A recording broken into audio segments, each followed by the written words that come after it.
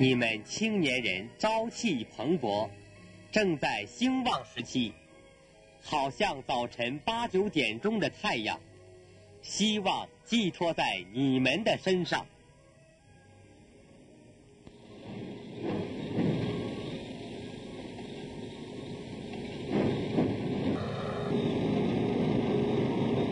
鞍山钢铁公司第二炼钢厂青年团结炉的职工。在迎接生产新高潮中，一马当先，连续创造优质快速炼钢的新纪录，超额完成了今年第一季度的生产任务。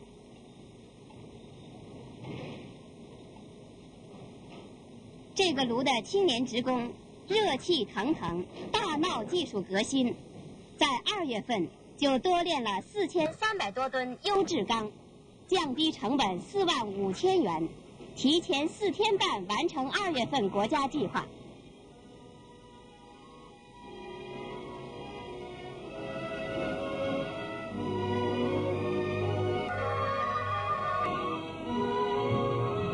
在比学赶帮的运动中，树立集体主义思想，人人维护炼钢炉，争取炉炉出好钢，在迎接一九六五年工业生产新高潮中，做出更大的贡献。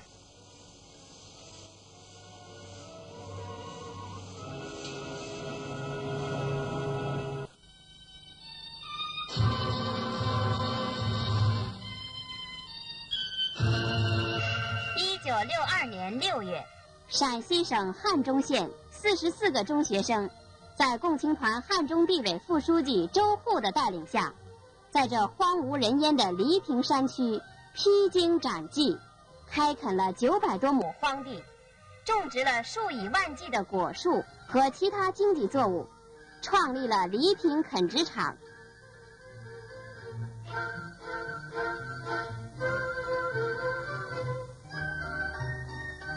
他们刚到山区，就在这十八平方米的草棚里住过二十四个人。现在，他们已经修建了四十间房屋。这支青年队伍由四十四人发展到了一百多人。共青团员崔大方成了饲养牲畜的能手，他现在是畜牧队的副队长。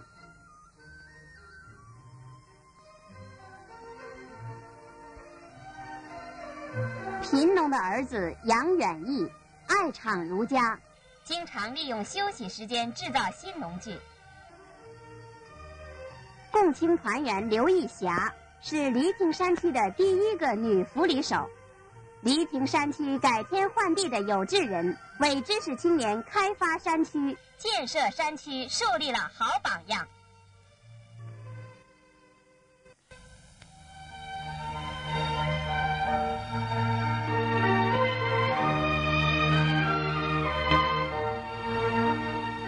北京市崇文区青年队青年班里的青年人，在共产党员、全国人民代表石传祥的带领下成长起来了。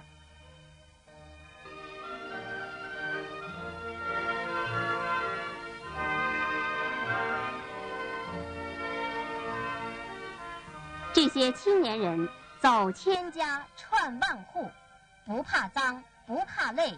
全心全意为人民服务的无产阶级硬骨头作风，受到了广大群众的欢迎。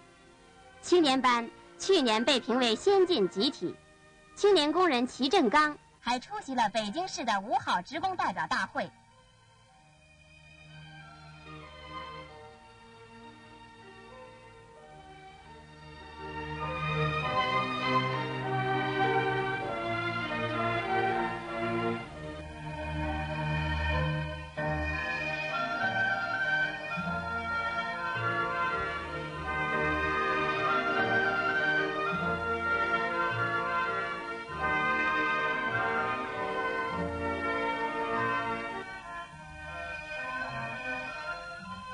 这些年轻人在这里学到的不仅是陶粪的技术，更重要的是学到了无产阶级的革命精神。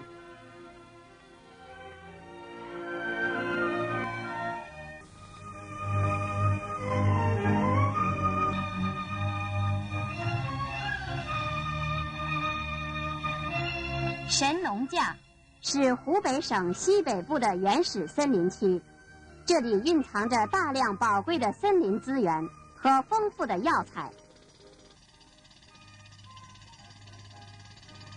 为了开发这座宝库，一支年轻的筑路大军战斗在山势连绵、悬岩峭壁之间，开凿一条八十公里的公路，通往神农架林区。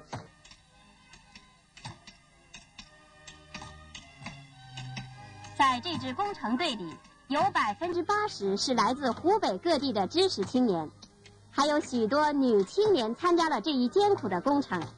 他们和男工们一起勇猛顽强地登上悬崖绝壁。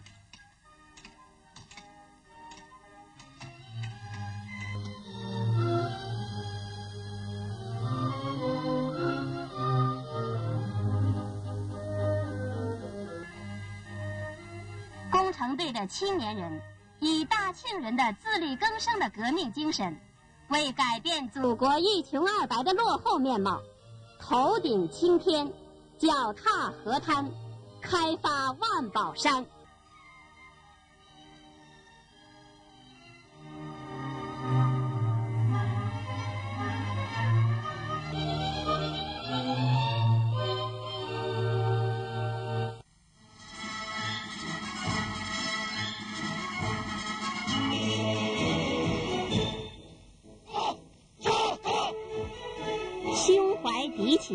常备不懈，练好本领，保卫祖国。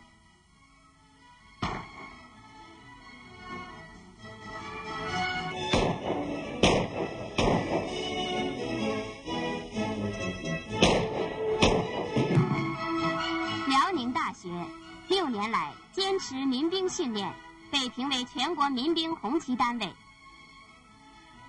训练中从难从严，从实战出发。苦练过硬的杀敌本领，全师的射击成绩优良，并且结合学生学习的专业，进行了各专业兵种的训练。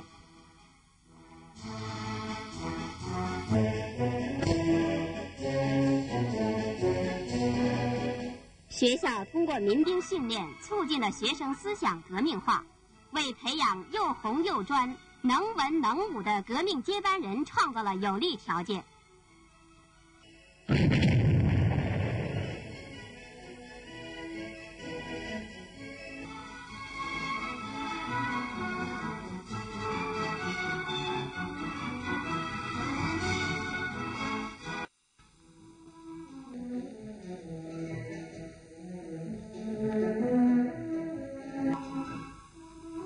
军某部的女飞行员们，活学活用毛主席的著作，提高了阶级觉悟。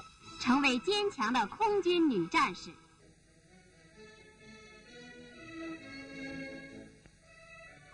这些从工厂、农村、部队、学校来的姑娘们，在航空学校经过几年勇敢顽强的学习，参加了保卫祖国的空军行列。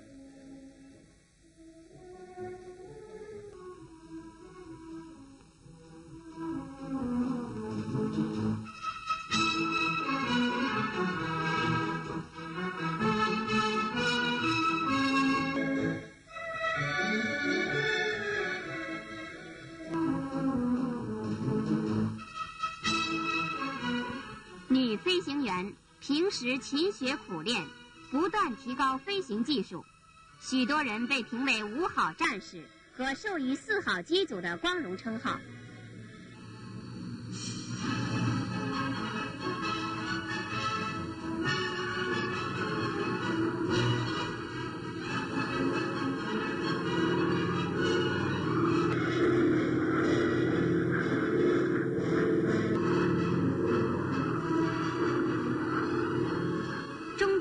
朱慧芬连续四年被评为飞行能手，获得优秀飞行员的光荣称号。年轻的女飞行员以不爱红装、爱武装的革命精神，保卫着祖国的领空。